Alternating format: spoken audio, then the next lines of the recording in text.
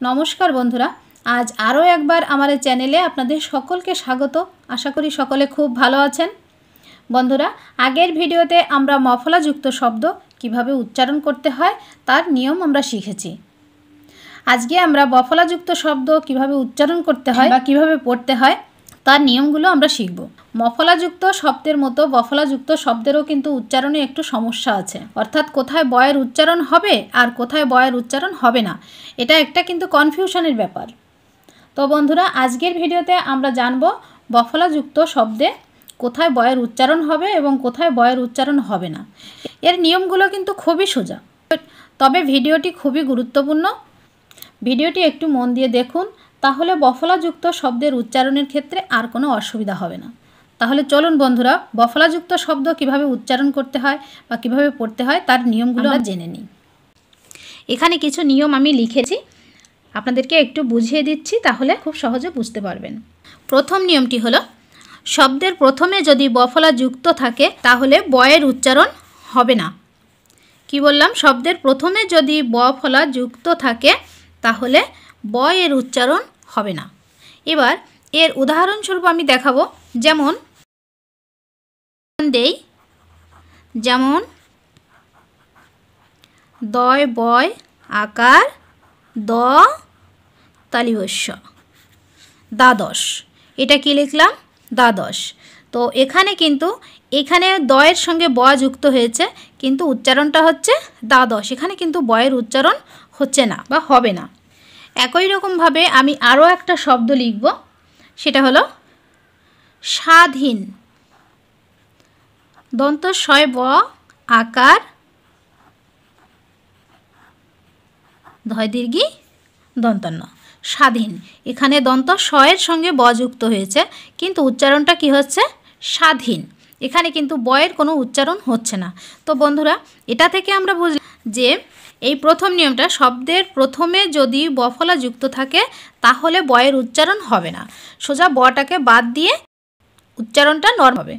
এবার দ্বিতীয় নিয়মটা হলো, শব্দের মাঝে যদি বফলা যুক্ত থাকে, তাহলেও কিন্তু বয়ের উচ্চারণ হবে না। তাহলে কি বললাম? শব্দের মাঝে যদি বফলা যুক্ত থাকে, তাহলে কিন্তু বয়ের উচ্চারণ হবে না। সেক্ষেত্রে যে বর্ণের সঙ্গে বটা যুক্ত থাকবে সেই বর্ণের দ্বিত্ব উচ্চারণ হবে। অর্থাৎ অর্থাৎ যে বর্ণের সঙ্গে ব যুক্ত থাকবে, সেই বর্ণের দুবার উচ্চারণে যেমন উদাহরণস্বরূপ আমি লিখছি, সত্তর। দন্ত স, তয় ব, আর হলো র। এটা কি লিখলাম? সত্তর। অর্থাৎ এখানে তয়ের সঙ্গে ব যুক্ত আছে, কিন্তু বয়ের উচ্চারণ হচ্ছে না। এখানে উচ্চারণটা কি হচ্ছে? দন্ত স, ত, র, সত্তর। অর্থাৎ উচ্চারণটা হচ্ছে সত্তর। কিন্তু আমরা এটা লিখব না। এটা কিন্তু লেখার ক্ষেত্রে হবে না। এটা লিখব কি আমরা? দন্ত স তয় ব র। সত্তর। কিন্তু উচ্চারণটা হচ্ছে আমাদের সত্তর। তাহলে এই দ্বিতীয় নিয়ম থেকে আমরা কি বুঝলাম? যে শব্দের মাঝে যদি বফলা যুক্ত থাকে তাহলে কিন্তু বয়ের উচ্চারণ সেখানে হবে না। কি হবে? যে বর্ণের সঙ্গে ব যুক্ত আছে সেই বর্ণের দ্বিতীয় উচ্চারণ অর্থাৎ দুবার উচ্চারণ হবে। সেই বর্ণটারই দুবার উচ্চারণ হবে। এবার তিন নম্বরে আমি নিয়মটা লিখেছি শব্দের শেষে যদি বফলা যুক্ত থাকে তাহলেও কিন্তু বয়ের উচ্চারণ হবে না। তো বন্ধুরা এখানে একটা প্রশ্ন বা এখানে আপনারা ভাবতে পারেন যে বয়ের উচ্চারণটা তাহলে হবে কোথায়? হ্যাঁ বন্ধু নিশ্চয়ই আমি বলে দিচ্ছি। তো প্রথমে এটা দেখি। যে শব্দের শেষে যদি বফলা যুক্ত থাকে, তাহলে কিন্তু বয়ের উচ্চারণ হবে না। কি হবে সেখানে? সেখানেও কিন্তু যে বর্ণের সঙ্গে ব যুক্ত থাকবে, সেই বর্ণটার দ্বিত্ব উচ্চারণ, অর্থাৎ দুবার উচ্চারণ হবে। এবার উদাহরণটা একটু দেখে নিই যেমন, উদাহরণটা হলো,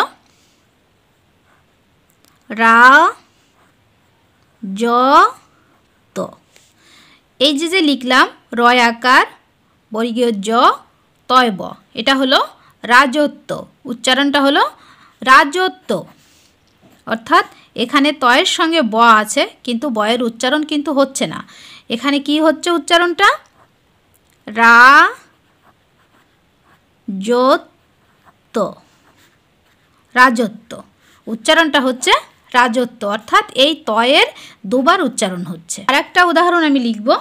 যেমন বয়হস্যি তালিবস্বয় ব। এটা কি হবে উচ্চারণ? বিশ্ব। উচ্চারণটা হবে বিশ্ব। এখানেও কিন্তু এই শয়ের সঙ্গে ব আছে, কিন্তু বয়ের উচ্চারণটা হচ্ছে না। উচ্চারণটা কি হচ্ছে? বিশ্ব।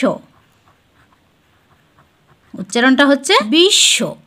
তাহলে এখানেও আমরা বয়ের উচ্চারণ বাদ দিয়ে উচ্চারণটা করছি। আরেকটা উদাহরণ লিখব, যেমন প কয় ব এটা কি হলো? পক্ক। উচ্চারণটা হবে পক্ক। পক্ক। এখানে এই শব্দটায় শেষে ব ফলা যুক্ত আছে। এখানেও কিন্তু বয়ের উচ্চারণ হচ্ছে না। এখানে উচ্চারণ হচ্ছে পক্ক। এখানে উচ্চারণ হচ্ছে পক্ক। এখানে উচ্চারণ হচ্ছে বিশ্ব। এখানে উচ্চারণ হচ্ছে রাজত্ব। রাজত্ব। তো বন্ধুরা আমরা মফলাযুক্ত শব্দের উচ্চারণ ক্ষেত্রে যে নিয়মগুলি পড়েছি বা জেনেছি, এই বফলাযুক্ত শব্দের উচ্চারণের ক্ষেত্রে ঠিক সেই একই নিয়ম। নিয়মগুলো কিন্তু খুবই সহজ। বন্ধুরা, এই যে যে তিনটে নিয়ম, এই তিনটে নিয়ম কিন্তু এই এক, দুই, তিন করে মনে রাখার কোনো দরকার নেই। শুধু মনে রাখতে হবে, প্রথমে, মাঝে এবং শেষে বফলা যুক্ত থাকলে সেখানে বয়ের উচ্চারণ হবে না। প্রথমে থাকলে বটাকে বাদ দিয়ে উচ্চারণ করতে হবে। আর মাঝে এবং শেষে থাকলে বটাকে বাদ দিয়ে উচ্চারণ করব। কিন্তু যে বর্ণের সাথে ব যুক্ত থাকবে, তার দ্বিতীয় উচ্চারণ অর্থাৎ দুবার উচ্চারণ করব। তো বন্ধুরা, এবার আমাদের প্রশ্ন হলো, তাহলে বয়ের উচ্চারণটা করব কোথায়? হ্যাঁ বন্ধুরা, কিছু কিছু বর্ণ আছে যাদের সাথে ব ফলা যুক্ত থাকলে অবশ্যই বয়ের উচ্চারণ হবে। সেই বর্ণগুলি হলো ম, ব দ, আরেকটা হলো গ। এই যে চারটি বর্ণ, এই চারটি বর্ণের সঙ্গে যদি বফলা যুক্ত থাকে, তাহলে কিন্তু বয়ের উচ্চারণ হবে। যেমন, এর উদাহরণ দেখাই। প্রথমে লিখব ল ময়ব এটা কি হলো? লম্ব। তাহলে এই যে যে মটা লিখেছি, তাহলে ব লিপ্ত হয়েছে, এখানে কিন্তু বয়ের উচ্চারণ হচ্ছে। আবার আরেকটা লিখব। তয় হস্যি বয় ব ত, তিব্বত। এখানে কিন্তু বয়ের সঙ্গে ব যুক্ত হয়েছে। এটা তো ব, এই বয়ের সঙ্গে কিন্তু আরও একটা ব যুক্ত হয়েছে। তো এখানে উচ্চারণ হচ্ছে তিব্বত। আরেকটা উদাহরণ লিখব। যেমন, দিগ্বিজয়। দিগ্বিজয়। এখানে গয়ের সঙ্গে ব যুক্ত হয়েছে। এখানেও কিন্তু বয়ের উচ্চারণ হচ্ছে। এখানে হলো দিগ্বিজয়, এখানেও কিন্তু বয়ের উচ্চারণ হচ্ছে। আরেকটা উদাহরণ লিখব।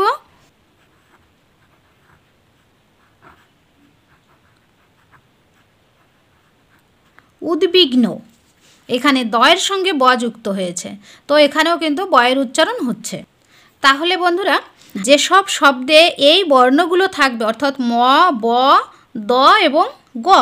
এই চারটে বর্ণের সাথে ব যুক্ত থাকলে বয়ের উচ্চারণ হবে। আদারওয়াইজ বয়ের উচ্চারণ হবে না।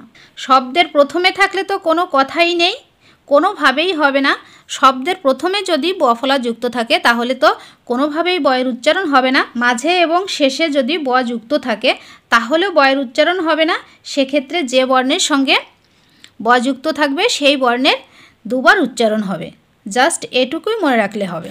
তো বন্ধুরা, ভিডিওটি যদি আপনাদের কোনো উপকারে এসে থাকে, অবশ্যই আমার চ্যানেলটি সাবস্ক্রাইব এবং পাশে থাকা বেল আইকনটি অল করে রাখবেন, যাতে করে পরবর্তী ভিডিওর নোটিফিকেশনটি সহজে পেতে পারেন। আজ এ পর্যন্ত, ভালো থাকুন, সুস্থ থাকুন